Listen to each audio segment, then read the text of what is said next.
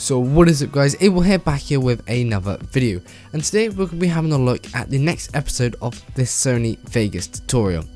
So today we're going to be showing you three ways that you can insert audio and video tracks.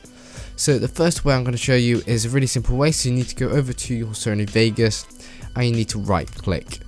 So as you can see down here it says insert audio track or insert video track. So let's just say video track and now simply if you right click on the video track it will only give you the option of the track that you've selected. However if you don't select any track and you select this grey space down here and then you right click it will give you the option of both. So let's just put a an audio track in and if we do that then you only get audio track from if you click right click on the actual track. So next of all we're going to start clean again. You can literally just drag in your video and as you can see it will make the two tracks for you. So you have your video and you have your audio track down here. And there you go it's already made it all for you. Of in which case you could then delete that if you only just wanted the tracks. And finally the one of the final ways is you can go up to the top of the toolbar and you put insert.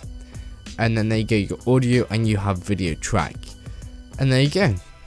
That is how you get an extra audio and extra video track if you need it. I hope you enjoyed it. This one's been a little bit shorter than usual, but I hope you enjoyed this video. Make sure you give me a like if you did. And hopefully I'll see you tomorrow, guys, for my next video. Thanks for watching, and I'll see you then. Peace.